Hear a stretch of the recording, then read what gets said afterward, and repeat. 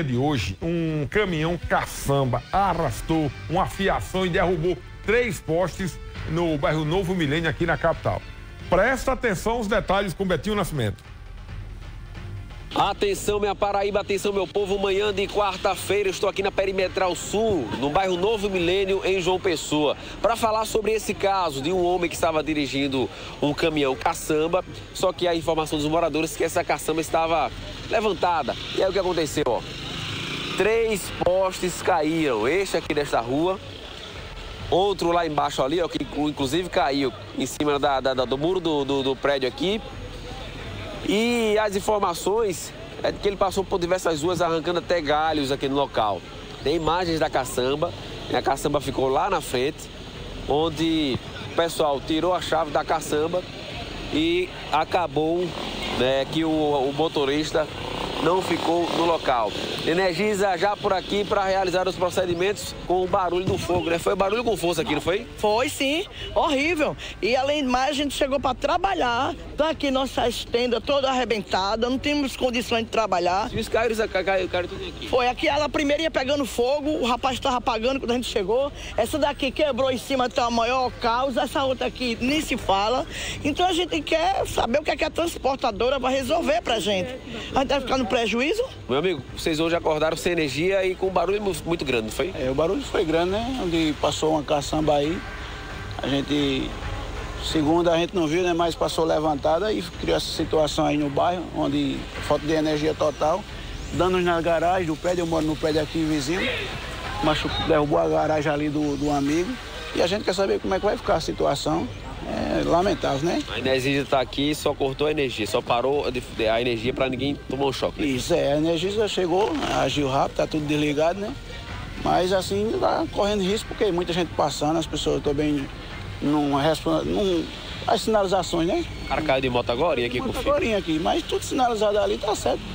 Tem que ter atenção, né? Tá vendo que, como é que tá, muita gente na rua e, enfim, é o que a gente acordou pela manhã e passando por essa situações, mas graças a Deus que não, nenhuma vítima, né? E tudo resolvido. Graças a Deus. O motorista do caminhão foi, voltou, foi, voltou, derrubou tudo. Isso, o motorista foi para lá, foi para cá, embriagado, né? É, que acontece direto. levantar a caçamba? É, segundo eu não vi, mas segundo passou levantada. O que aconteceu, um prejuízo aí, né? Para a Energisa, para nós, para o morador, né? Do bairro. Mas eu creio que logo em breve vai estar tudo resolvido em nome de Jesus. Saindo da Perimetral Sul, onde a caçamba passou arrastando tudo, chegando aqui na Risalva Oliveira da Silva, a gente vai mostrar uma situação também de moradores aqui nessa rua. Dá para observar ali no poste, inclusive de alta tensão que também está danificado, ou seja, é o quarto poste danificado. E a informação que a gente recebeu é de que em uma casa aqui é, um poste de dentro da casa acabou também caindo, ou seja, o quinto poste. Vem para cá, Eriveldo Lins, mostrar aqui a situação dos moradores aqui, onde depois que a caçamba passou arrastando tudo, derrubou o poste. Chegou a bater no carro, não? Amassou o carro. Bateu, caiu em cima do carro aqui, ó. Do carro. O carro tava na garagem, tudo certo, Aqui né? na garagem, quando caiu, foi em cima do, do carro, amassou o carro. Esse poste de carro justamente onde é que tá aqui agora, só arriou.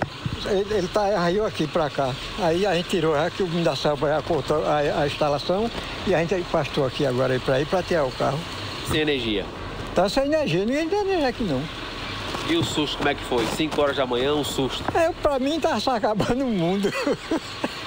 Mas é assim mesmo. Barulho de, de, de, fogo, como é que foi? O fogo foi ali, só. O fogo foi lá na perimetral. Aqui não deu fogo não, só foi a, as só o desmantelo, somente. Puxando o fio e o, e o, e o poste caindo. Foi, caiu em cima do carro, amassou ali o carro.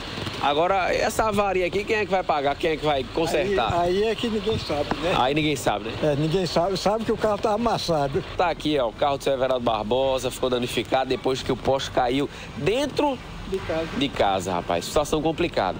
Agora, como a gente conversou com os moradores, alguém vai ter que arcar com os vários prejuízos.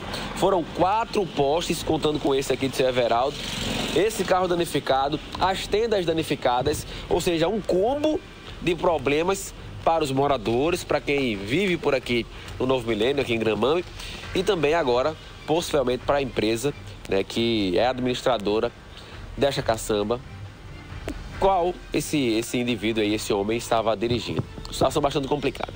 As imagens são de Erivelton Lins, aqui, repórter Beto Nascimento, para a TV Arapuã. É, e a Energisa já restabeleceu a energia não é? E o prejuízo cabe à família agora procurar a empresa. Eu volto já é rapidinho.